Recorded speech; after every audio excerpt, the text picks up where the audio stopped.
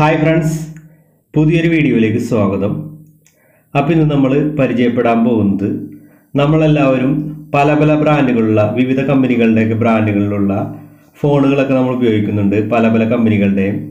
അപ്പോൾ ഈ കമ്പനികളിലൊക്കെ ഫോണുകൾ നമ്മൾ ഉപയോഗിക്കുമ്പോൾ നമ്മളുടെ കയ്യിലുള്ള ഫോൺ എത്ര റേഡിയേഷൻ പുറപ്പെടുവിക്കുന്നുണ്ടെന്ന് നിങ്ങൾ ശ്രദ്ധിച്ചിട്ടുണ്ടോ?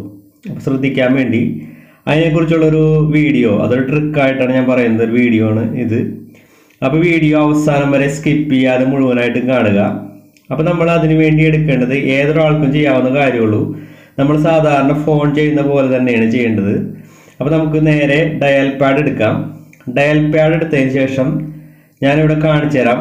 അതാണ് നിങ്ങൾ ടൈപ്പ് ചെയ്യേണ്ടത്. അപ്പോൾ രണ്ട് പ്രാവശ്യം ടൈപ്പ് ചെയ്യുക. ചില ഫോണിൽ ആക്ടിവേറ്റ് ആവില്ല. Star hash zero seven hash അങ്ങനെ ടൈപ്പ് ചെയ്യുക.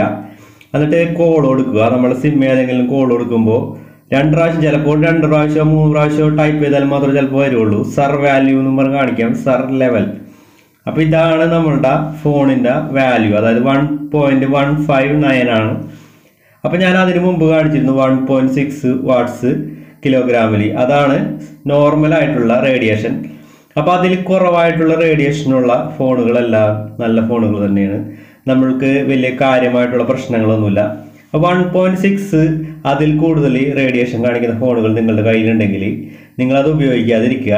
കാരണം അത് നമുക്ക് ആരോഗ്യ പ്രശ്നങ്ങൾ കൂടുതലായിട്ട് ഉണ്ടാക്കും.